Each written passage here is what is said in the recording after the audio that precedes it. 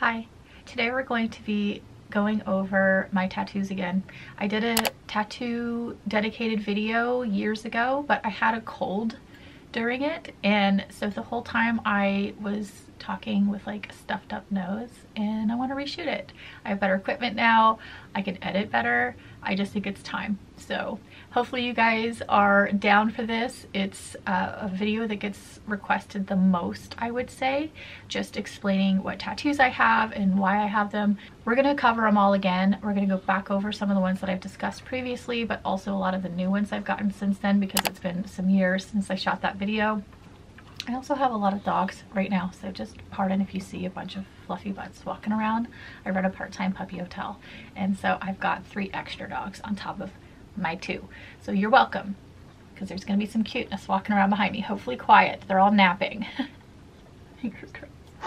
my legs are kind of a free-for-all. I can do anything I want on my legs at any time. I can add a sleeve to one if I want to, but for the most part, I want to use them as collectors pages for traveling. So if I'm going somewhere and I want to get something, I can toss it on my leg and I've got space for it.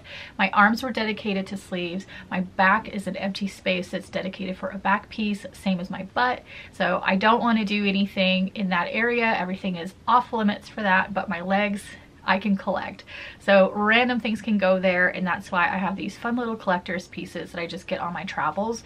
My husband and I were going to Lake Tahoe and we stopped off in Sacramento and we went to his friend's shop. This one I got in Lake, I got in Sacramento with my husband and um, it's just you know, kind of a luck charm. I got it mostly because it's kind of a luck charm and then I love anything equestrian. So I'm really into like horses. I love farms. I love being around horses. I'm such a weirdo. I just love the smell of a barn.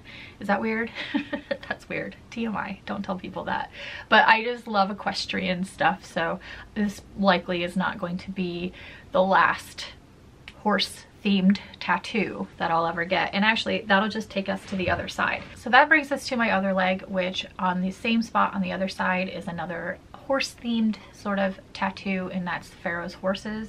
I've always liked the look of Pharaoh's horses. It's just such a like classic tattoo choice. Uh, I really liked the rope detail on it and I got the three different horse heads in various colors and I really like it. It's a fun one. It's the most recent one that I got and it matches the other side perfectly. So I'm really into symmetry and having things kind of balanced on both sides. It drives me crazy when one side's done and the other's not. So it was really nice to complete the collection on my front thigh. Now we're gonna go to the left side of my thigh. There I have Lucille Ball and this actually was done by my husband's really good friend that he grew up with and so he was here guest spotting in Seattle and I just was like this is the perfect time to get something from him so I've always wanted to have Lucille Ball on me in some way because she's a huge idol to me I love that she's classic but funny and pretty and wears cute outfits and does her hair. I mean, she's just all wrapped up in all the things that I love.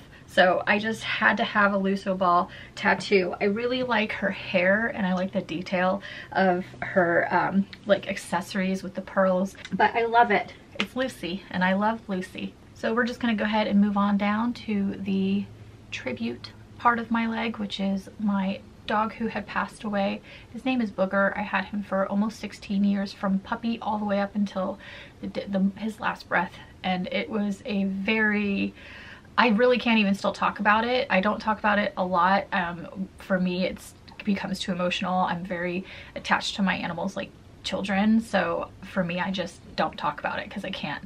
Like I'm gonna cry right now. So, um, but I loved him, still do with all of my heart. The dancing Shih Tzu dog is actually a tattoo that the artist Timothy Hoyer has done a few times or just even drawings. He likes to draw dancing animals or dancing dogs.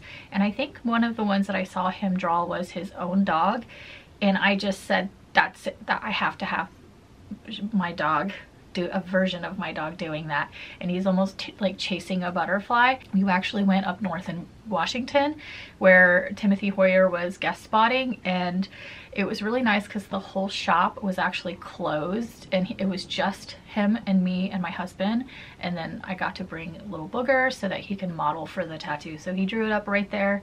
And we did the tattoo. And it's probably the most special one that I have I would say. And by somebody so epic like Timothy Hoyer is a pretty big deal in the uh, whole tattoo world. So if you've heard of him, you will know what I'm talking about. But he's also a, an amazing guy. Like he's just super cool and super nice and just an awesome person. Sorry if you can hear snoring. I believe the frog, which is a Frenchy pug, he's gonna snore for a while now. I'm not gonna wake him up because he's being still. So you're gonna have to listen to that. but Boog is my um, dog who passed name. His, name. his nickname was Boog. His actual name's Booker, but Boog was what we called him. And uh, that was um, a fundraiser for a dog rescue.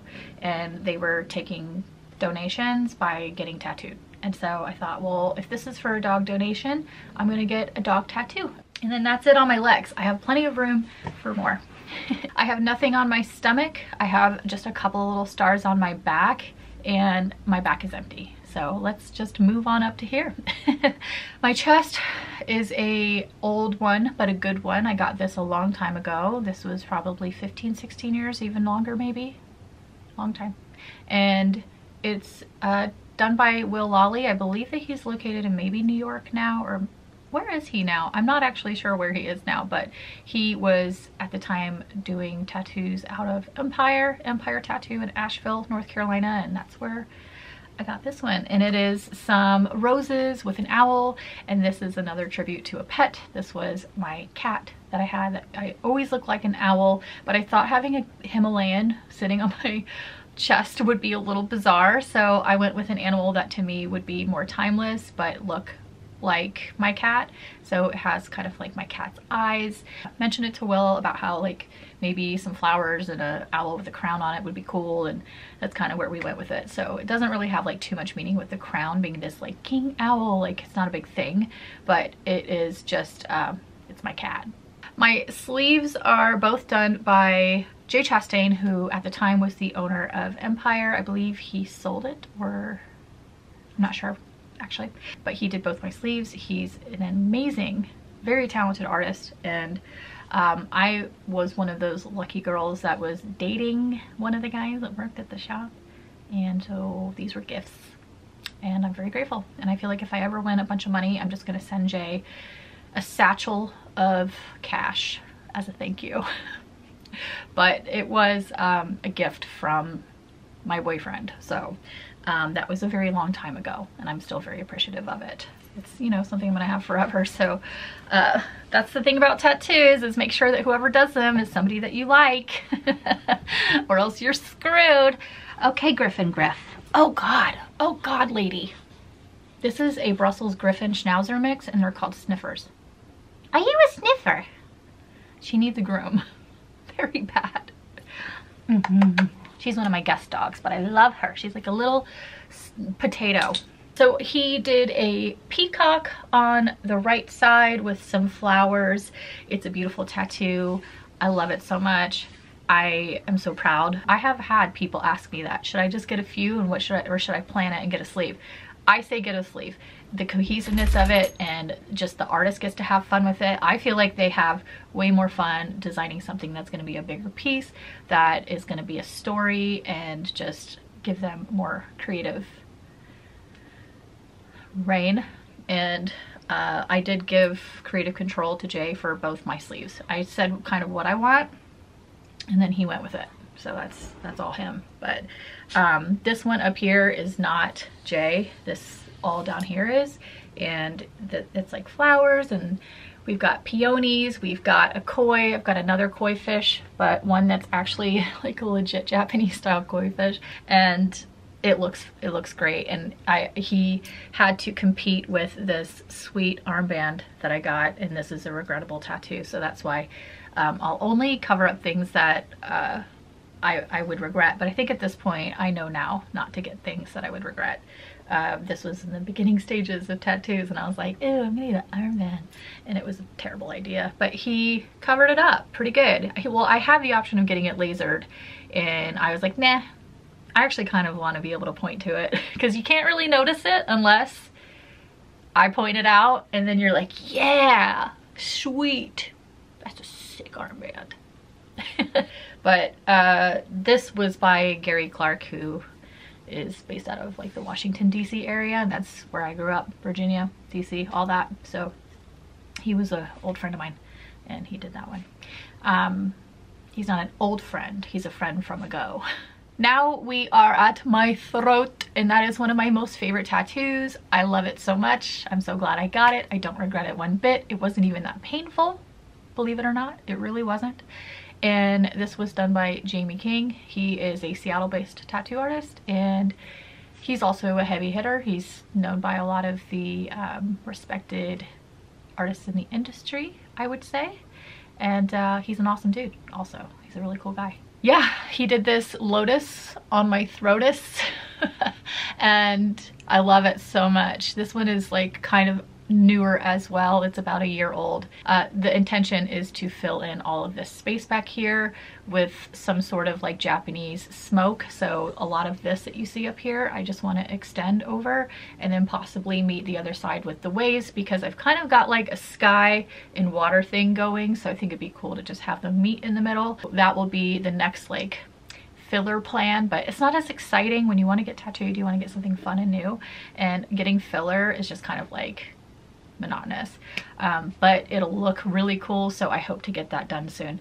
My hands I got done in Seattle. They're both by the same guy. This is Matt Lentz who did these. I love this perfume bottle. It's one of my favorite tattoos. It just is really like themed to me since I'm in the beauty industry, you know, since I do permanent cosmetics and um, just regular cosmetics. So I think that anything that's like in the beauty industry is a tattoo that like speaks to my soul because that's what I've been doing for so long. And then this one is just a little flapper lady. I thought she was just cool.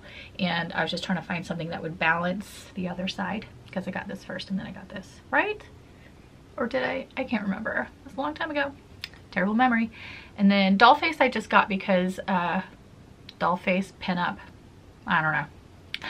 I got that one a long time ago. It was actually like an idea of my boyfriend's. And he was like, hey, you should get doll face. And I was like, yeah, that's good. That'll fit. I originally wanted to get the Lucky Charms. I'm glad he talked me out of it because I was about to do like hearts, stars, clovers, and balloons. You know that like Lucky Charms, but I'm glad I got doll face, I think. Um, and then I just have some whiny teardrops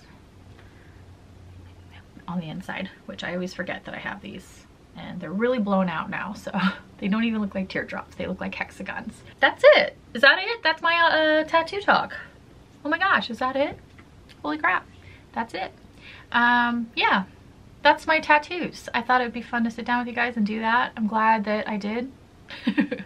The dogs made it through this whole thing without being obnoxious.